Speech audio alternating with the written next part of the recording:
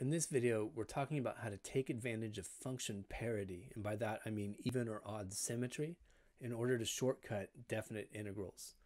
So just as a quick reminder, and I'll post a link to the video where I first brought this up, an even function has the property that f of negative x equals f of x, and it ends up with a symmetry about the y-axis. So our even function in the examples here is the second one. It's f of x equals x squared.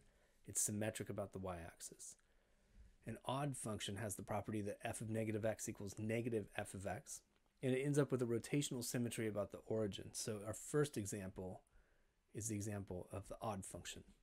So if you ever run into an integral where the integration interval is symmetric about the origin, in both of these examples it's negative 1 to 1, that's symmetric, then you should be looking to take advantage of symmetry arguments wherever you possibly can.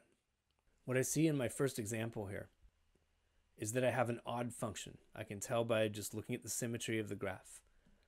If I tried to prove it algebraically, you may just remember that a linear combination of odd functions is odd, or you could prove it from scratch by subbing in negative x. And when I cube negative x, I end up with negative x cubed because that's three factors of negative 1. Well, that minus sign is going to cancel the one that was there to begin with. And I get here well, that's just the negative of my original function. So that's negative f of x, and we've proven that our function is odd. So what happens when we have this symmetry, where everything happening above the x-axis on the right is happening below on the left?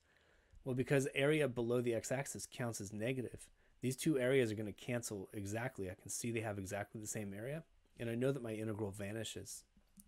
So this is used all the time at the upper division level in applied mathematics. You're just always looking for things that have odd symmetry because then you don't even have to compute the integrals. You can just say that one's zero.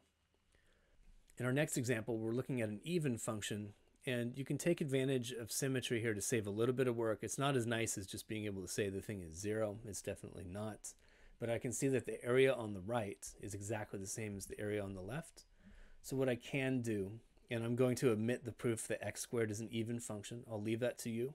Um, that's also covered in the video I linked to at the beginning of this video.